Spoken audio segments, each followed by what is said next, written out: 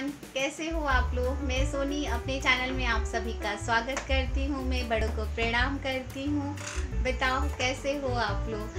आज डेट है 26 तारीख और 26 फरवरी और दिन है दिन है शनिवार और टाइमिंग हो रही है इस टाइम ग्यारह। और आप लोग को अभी वीडियो अपलोड करके आज थोड़ा लेट हो गया, मुझे वीडियो अपलोड करके डालना है। तो ये वीडियो अब भी जाएगी, थोड़ी देर एक घंटे बाद जाएगी तो मेरी ये वीडियो ज़रूर देखिएगा आप लोग। मैं इस वीडियो में बहुत अच्छी से एक रेसिपी मैंने शूट की है। जो चीज़ें जैसे बच्चे हैं, मेथी नहीं खाते हैं तो वो बच्चों के ये इसमें पनीर का टेस्ट आएगा, इस वाले सब्ज़ी में। तो आप लोग बनाकर ये बड़ों को भी पसंद आएगा, बच्चों को भी पसंद आएगा। मेरी बेटी कभी मेथी नहीं खाती है। कब बहुत जब, क्योंकि हरी भाजी है तो बच्चे बहुत कम ही हरी भाजी पसंद करते हैं। तो बच्चों को ध्यान में रखते हुए मैंने बनाया मिर्ची आप अपने हिसाब से कम ज़्यादा कर सकते हैं इस डिश में। तो बनाइएगा आप लोग आप लोग को बहुत पसंद आएगी। और हाँ आज मेरी एक सब्सक्राइबर है, निशा जायसवाल।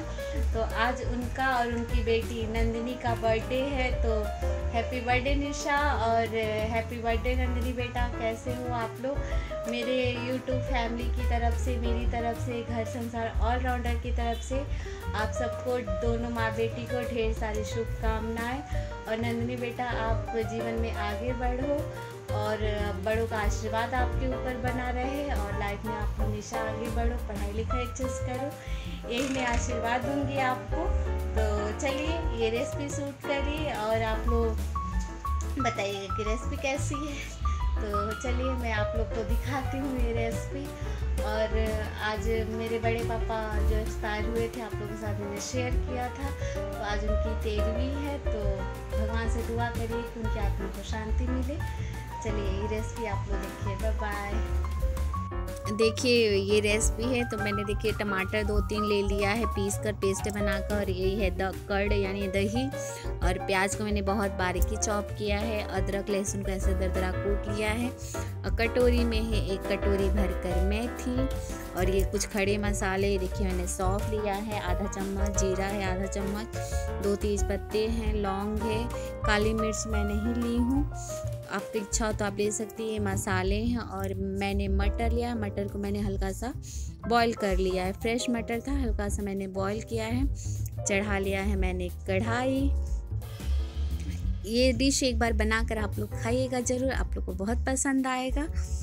देखिए, मैंने कढ़ाई में डाल लिया है ऑयल ऑयल करीबन एक चम्मच, बड़े वाले जो चम्मच होती है, उसे एक चम्मच है ऑयल और इसमें डालेंगे जीरा। सौंफ और जीरा, पहले तो तेज़ पत्ता डालेंगे। ये कढ़ाई थोड़ी मोटी है तो इसकी वजह से थोड़ा सा लेट वो हो गया है, गरम। मैंने तेज, मुझे लगा गरम हो गई है। तेज पत्ता डाल दिया है मैंने। तो थोड़ी, थोड़ा, थोड़ी देर वेट करेंगे। देखिए, मैंने तेज़ पत्ता के साथ गर्म हो गया है मेरा। तो फिर मैंने जीरा, सौफ और जो लौंग मैंने दो लिया था, वो भी मैंने डाल दिया है। आप इसमें और भी खड़े मसाले ले सकते हो। मेरे घर खड़े मसाले नहीं पसंद करते हैं लोग, इसलिए मैंने बहुत कम लिया है, टेस्ट के लिए लिया है। और ये अदरक और लहसुन है। तो लहसुन मेरा बहुत बारीक ही था तो कोई कोई के छिलके रह गए हैं। तो इसके लिए ऐसे खलबट्टे में मैंने कोटा है। और फिर उसके बाद, देखिए, अब आगे इसमें डालेंगे प्याज। देखिए, मैंने प्याज भी डाल दिया है। प्याज को मैंने बहुत चॉपर में मैंने चॉप किया है, बहुत बारीक चॉप किया है मैंने, क्योंकि इसमें जो प्याज वगैरह रहता है, वो खड़ा नहीं रहना चाहिए, इसलिए मैंने टमाटर को भी पेस्टी बनाया है। और देखिए इसमें थोड़ा सा नमक डाल देंगे तो जल्दी से प्याज रोस्ट हो जाता है। देखिए, इसमें मैंने नमक डाल दिया है। नमक डालने के बाद अब डालूँगी सूखे मसाले। तो एक चम्मच मैंने डाला है हल्दी पाउडर। थोड़ा और डाल देंगे, क्योंकि इसमें कर्ड पड़ेगा, दही पड़ेगा तो कलर हल्का होगा। और ये मेरा गरम मसाला गरम मसाला भी, क्योंकि दही पड़ने से थोड़ा सा सब जो वो होता है कलर ना, वो डल हो जाता है। जैसे थोड़े मसाले ज़्यादा डालने चाहिए। तो दो चम्मच मैंने धनिया जीरा पाउडर डाला है और दो चम्मच के करीब में मैंने गरम मसाला डाला है। अब इसको अच्छे से भून लेंगे। और ये रेसिपी प्लीज़ आप सभी से मैं रिक्वेस्ट कर रही हूँ, एक बार बनाइएगा आप लोग, ज़रूर आप लोग को बहुत पसंद आएगा। और गाढ़ा काढ़ा देखिए, मैंने टमाटर का डाला पेस्ट, ये मेरे तीन टमाटर हैं, मीडियम साइज़ के हैं। तो फिर मैंने इस, ये भी भून लेंगे। और ये आप इतना ध्यान रखिएगा कि आपने नमक भी पहले डाला है तो बाद में थोड़ा ही डालेंगे। और थोड़ा पानी डाल दूँगी कि अब क्योंकि जलने लगेगा ना मसाला तो इसके लिए। अब थोड़ा सा भून लेंगे।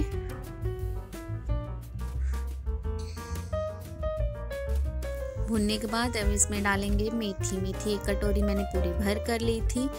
ये नहीं, छोटा बहुत था कटोरी, ना बड़ा कटोरा था, मीडियम साइज़ वाला कटोरा था तो एक कटोरा मैंने मेथी लिया इसमें।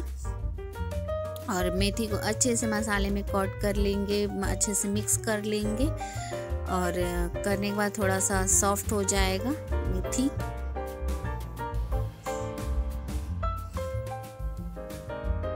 अब इसमें डालेंगे मटर। मटर को मैंने हल्का सा बॉईल कर लिया था। और फिर डालेंगे क्योंकि मे, मेथी भी बहुत जल्दी पकती है और इसमें और कुछ पकने लायक था ही नहीं।